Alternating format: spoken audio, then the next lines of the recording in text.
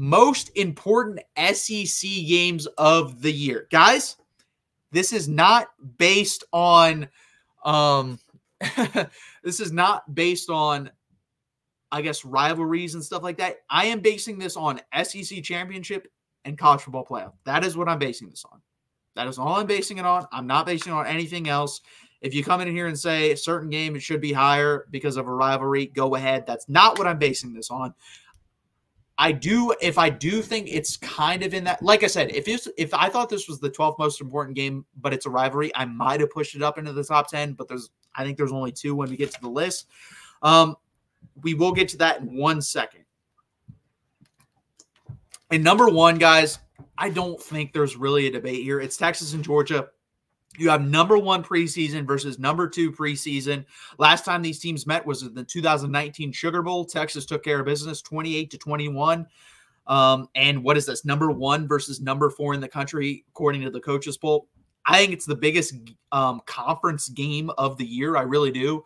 I'm trying to think what else could even push it. Ohio State and Oregon, obviously. I think those are number one and number two in the country conference game wise. I think this game could determine whether or not Georgia plays in the SEC championship game. And I know people are going to be like, what? You don't have Georgia in the SEC championship game? My predictions might say Georgia doesn't make the SEC championship game. I haven't decided on that, but it's going to be very questionable because Texas has, a, or I mean, Georgia has a lot of games on here. We're going to get to this. They have what? In my top 10, three, th- the first three games involve Georgia. They have a very hard schedule, and I predicted them not to make the college football playoff last year. I bet I was the only one, guys. I'd love for you to find anyone else that didn't predict Georgia make the not make the uh, college football playoff. I didn't. And I think they'll make it this year, but I don't know about that SEC championship game. So I have Texas and Georgia number one. Number two, this tells you where I land on how I am on Alabama. I have Georgia at Alabama. These are nine of the last 10 SEC champions nine of the last 10 SEC champions. That is crazy. Uh, last regular season meeting was October 17, 2020. So it's been a minute. Uh, Alabama won that one in Tuscaloosa 41 24. I think Georgia is going to be looking for some revenge here. But again, Georgia plays all their tough games, like really tough games on the road for the most part. Um, it's hell of a game, guys. It's going to be this season is going to be so fun. And this is just a little taste of it right there with the first two. Next up, I got Georgia again. I got Georgia versus Ole Miss. This is number one, number four SEC preseason, number one versus number six in the coaches poll that just came out for the whole season. Last meeting was last year, 52 to 17. Georgia absolutely killed Ole Miss, annihilated them. Lane Kiffin has to win a big game and this game has to be circled going into the season. Has to. I I'm trying to think what Lane Kiffin's big win is. I guess it's last year versus Penn State in a bowl game. That's really it, guys. I can't think of anything else. LSU last year, maybe. But this is a truly big game. This could be the number one team in the country going into Oxford to play you. If you have national championship aspirations, you have to win this game, in my opinion. If you have college football playoff aspirations, which they should, with that talent and that roster and this coaching staff, they need to be competitive. You cannot lose this game 52 to 17 again. If you lose this game 52 to 17, I will be done taking Ole Miss serious as a program. You have enough talent to compete with Georgia. Let's see if you can do this X's and O's wise. I thought they had enough talent to beat Bama last year, especially when Bama was down trying to figure out who the quarterback was, and they couldn't do that. So Lane Kiffin needs to win this game or at least compete uh, like heavily. Like this game should be 34 31, came down to the last couple minutes of the game for me to take Ole Miss seriously. I have this as number three. I think it's going to be a hell of a game. Two um, contradicting styles. Georgia wants to slam it at you. Ole Miss wants to throw it uh, over you. Um, number four, I have Missouri at Alabama. Number six in the preseason SEC poll versus number three. Bama is five and two all time. The last meeting came in 2020. It came in Columbia, Missouri. Alabama won this game 38 to 19. I think this is a really good season. Do I think Missouri is being overrated slightly? Yes, I do, but I still think they're a top 15 team legitimately this year. Uh, they're a really good football team with a lot of returning production. And I'm high on Bama. This is a hell of a game. I think it will determine a college football playoff spot potentially. That's why I have it in number four. This one may be a little bit higher than I should have put it, honestly. I have number five. I have Bama at LSU. Last time they played was last year. Alabama won 42 28 with Jalen Daniels, the Heisman Trophy winner, getting hurt. I'm not as high on LSU as the SEC pundits are. At number five, finishing in the SEC, I just don't see that happening. I think they're highly overrated. You lost a Heisman Trophy winner. You lost two first round wide receivers.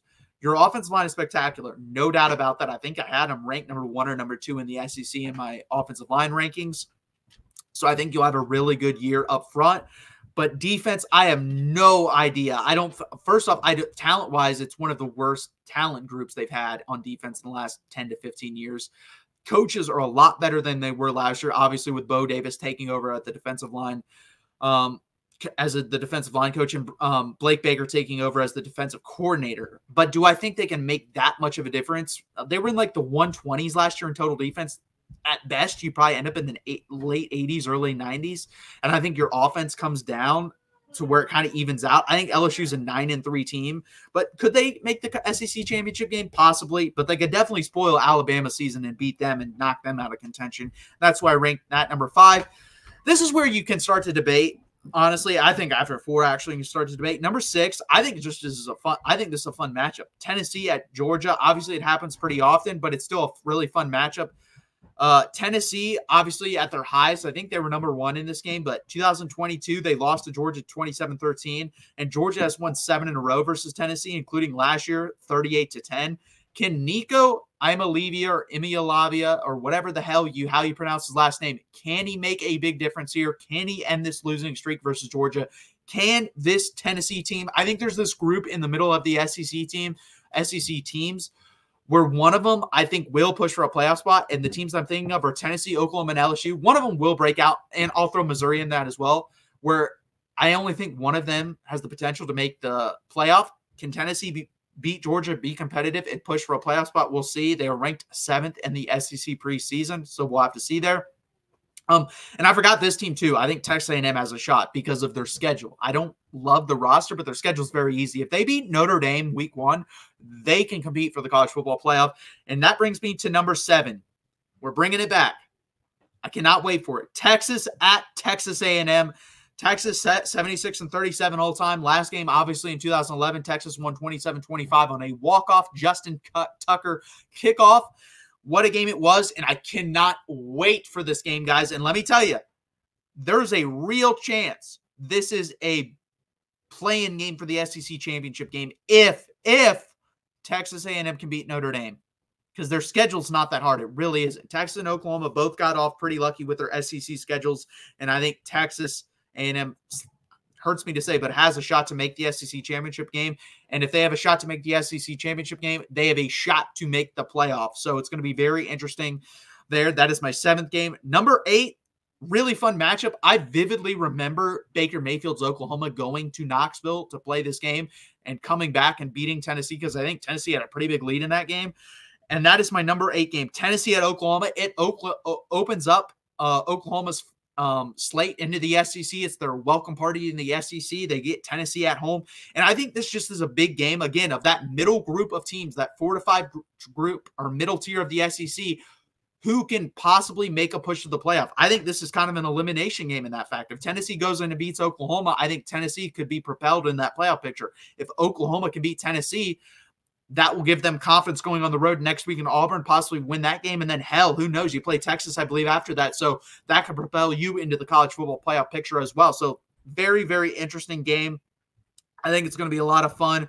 Beautiful, beautiful um, matchups, helmet wise, tradition wise, color wise, uh, uniform wise, everything. It's just, it's going to be a lot of fun.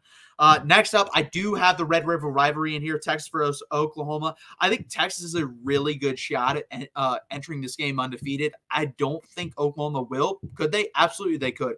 I think it'd be a hell of a game if they do. I mean, there's a chance if both of these teams are undefeated. We're talking number two or number three in the country versus number 10 in the country. It could be the most it could be the most meaningful Red River rivalry game in a while and the first game in the SEC. I think it's a hell of a game. I think it's going to be a lot of fun with that SEC flavor and a 2:30 kickoff. Sign me up. Let's I cannot wait, guys. I'm so tired of just talking about these games. I cannot wait until they kick off. Ole Miss at LSU is in my number 10. Hell of a game last year. 55 to 49 down the last seconds. I remember back and forth. I thought LSU was going to win when Brian Thomas Jr. caught that touchdown with a couple minutes left. Then Ole Miss comes down the field, scores. I think LSU did have a chance at the end, but there wasn't enough time. If that game had an unlimited clock, that game would have gone back and forth. It would have been like 200 to 199. Hell of a game. I think it's going to be a lot of fun this year. I think you'll see way more defense this year, though in, in particular because Jayden Daniels won't be playing in those wide receivers, but also because I do expect LSU to be slightly better on defense. I also expect Ole Miss to be a lot better on defense because of the talent they brought in. So those are my top 10 most important games into the just SEC schedule.